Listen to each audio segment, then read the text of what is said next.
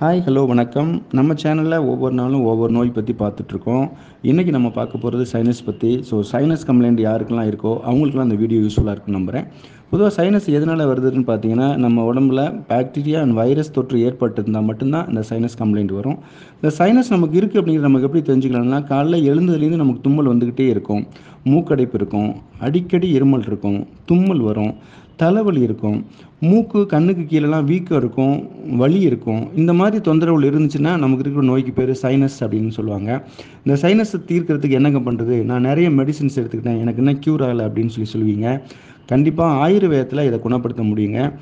இதுக்கு சைனஸுக்கு ஆயுர்வேதத்தில் நசியம் அப்படின்னு சொல்லி ஒரு ட்ரீட்மெண்ட் இருக்குது இந்த ட்ரீட்மெண்ட் அஞ்சு நாள்லேருந்து ஏழு நாளுக்குள்ளே டாக்டரை கன்சல்ட் பண்ணி எடுத்துக்கிட்டிங்கன்னா நிச்சயமாக க்யூர் ஆகும்.